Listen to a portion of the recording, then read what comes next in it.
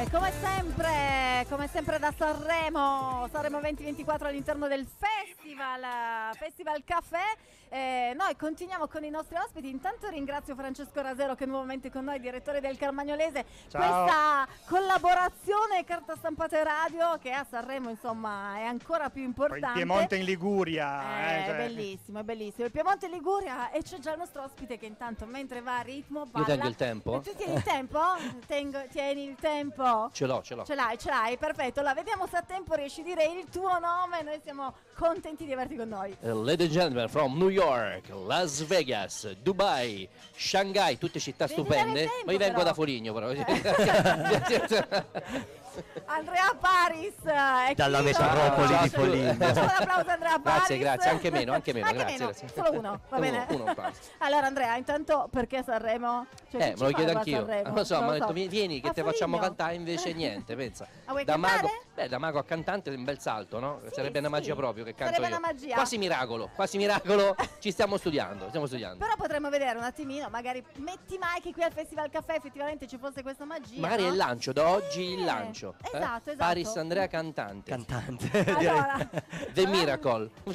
esatto. tra l'altro ha la mia età, quindi non mi sento tanto vecchia oggi, Ah, scusami. visto? Non siamo tanto vecchi. 62. Non ti Siamo voglio togliere nulla, però se mia figlia ha fatto 12 anni, noi siamo vecchi. Cioè, purtroppo Eh, è andato. Io so, vedo lo che so, cresce e so. faccio no.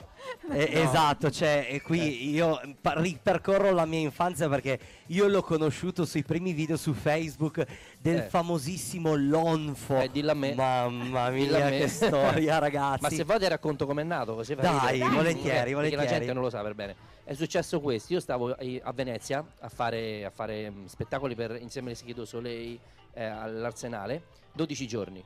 Mi chiamano e fanno Andrea guarda c'è uno slot a Piazza San Marco martedì grasso, sbrigate che ci servi.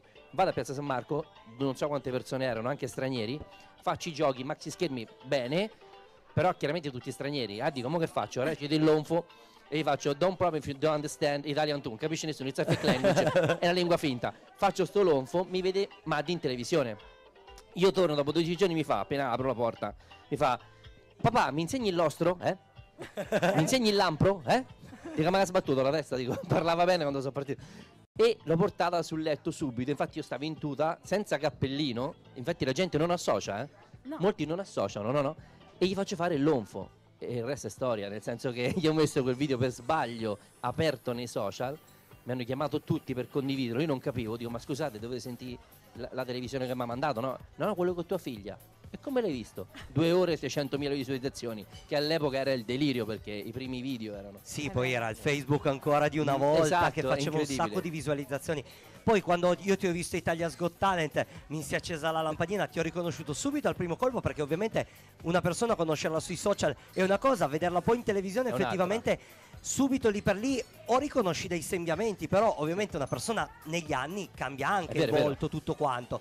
Hai vinto Italia's Got Talent. No, secondi della Got Talent, primo tu sì che vales. Ho vinto Tu tu sì che che vale, se è vero, Sì. perdon, chiedo scusa. Io purtroppo con la televisione la guardo, poi ogni tanto sbaglio No, anch'io. io, io- anch'io. Comunque, complimenti veramente perché Grazie. ragazzi. E tra l'altro mi ha detto adesso Andrea Rasero che eh, tu sei stato un po' a Francesco. scuola, eh, Francesco, oggi non ne becco una in diretta, e mi ha detto che ha imparato dal Mago Sales eh, Esatto, i primi, esatto. i primi il primo approccio è stato Mago Sales. Che arriva direttamente dalle nostre zone, da Cherasco, Cherasco, Cherasco esatto. che il, ah, ricordiamolo che c'è Il il museo. museo della magia Esatto. che è fotonico. Lo fotonico. so, lo so molto bene perché ci abita il mio migliore amico di Esatto, fianco, quindi esatto. È molto Tanta molto roba. bello. Beh, però Andrea, insomma, dopo tutto questo raccontare, lui in realtà ha anche a che fare con la cinematografia. Tu sei anche un regista cinematografico. No, perché- no, questa è bellissima storia, anzi la dico in radio. Dai. Allora, Dillo, Andrea Paris, ah, se voi scrivete Andrea Paris, appare Andrea Paris quello, che non so io. Però potrebbe essere carino. Potrebbe essere È però- quello di prima. C'è la mia foto.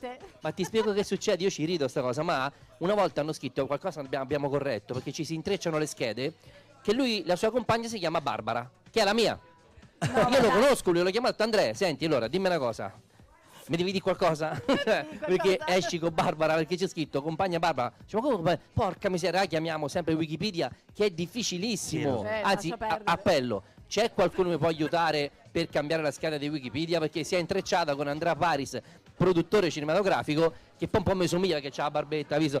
Quindi stiamo incasinati. Perché poi c'è lo scambio di mogli que- anche eh, dietro. Esatto, è questo che bisogna anche dire, no? Tirare fuori anche questi aneddoti e dire basta, Esatto. basta, basta, io sono un altro. Esatto. Scusate, per Francesco. capire chi è, secondo me bisogna fare recitare il lonfo. il Esatto. lonfo. Eh, Uno chi fa lo il fa lonfo. giusto, uno che Esatto. lo fa giusto è lui e se lo sbaglia invece Esatto, l'altro. esatto, esatto, esatto. Assolutamente sì. Senti, ma prossimamente? Guarda, io da poco sono- ho fatto Zelig, adesso sto facendo Made in Italy su Rai 2. Sì? Eh, ci sarò nella puntata speciale del 13 di, di febbraio che sarà per San Valentino. Che bello. Quindi ci vediamo il- su Rai 2 il 13. Intanto non perdete anche le puntate di lunedì, che ci sono gli altri miei amici. Assolutamente sì. Quindi prossima settimana, insomma, ti abbiamo visto qui oggi e ti ritroviamo in tv Sì. la prossima settimana. Esatto. Che bello, vedere dal vivo e poi in tv è bello. Sanremo, dai, noi siamo una radio, insomma, si parla di musica. Sì. L'hai seguito? Sì. Guarda, io dico la mia, lo so, ma io sono popolare, però allora a me gli artisti mi piacciono tutti, Mhm. mi piace tutta la musica come espressione d'arte, perciò ognuno ha il suo stile e io non è che lo rispetto, mi piace, tutti quanti. Però io sarò che sono nostalgico, a me piace il Sanremo che quando tu monti in macchina ti fischietti le canzoni. Ok. E qui sono un po', un po' che sono fischiettabili, cioè nel senso che non si può fare. Cioè, eh, qualcuna È un po' non difficile. Viene, non viene, non Viene, troppo, Quindi io sono troppo. nostalgico della canzone, quella canzone che tu quando vai in macchina, tipo Giorgia ha fatto un medley di cinque canzoni e quello è Sanremo. Eh sì. Poi sì, anche sì, gli altri, sì, cioè qualcuno c'è che canta, ci No, mancherebbe, eh. certo, cioè, certo. Diodato per esempio mi fa impazzire a me. Anche a me piace. Diodato molto. per me dovrebbe vincere il festival, lo dico senza proprio a mani basse perché è bellissima la canzone. Anche e lui io. canta. Sarebbe anche un bel merito dopo che aveva Sì, vinto ovviamente lui nel canta, 2020. Lui canta per di canta. E Eh. lui canta. E vabbè, eh, questo è per dire che insomma io e Andrea siamo un pochettino vintage quindi a noi piace il vecchio Sanremo. Io un po' meno Eh, vintage. Fischietta. Sì, fischiettarlo sia in macchina che sotto la doccia, Esatto. insomma ovunque. Va bene, ma tu non ci canti una canzone, davvero? Sì, allora vado, silenzio. Questa l'ho studiata, cioè, guarda, non sto serio, preparo questa, sì, preparo questa da circa eh, sei anni in realtà per fare un provino. Ok, Quindi, va eh, bene. Adesso vado, datemi il via.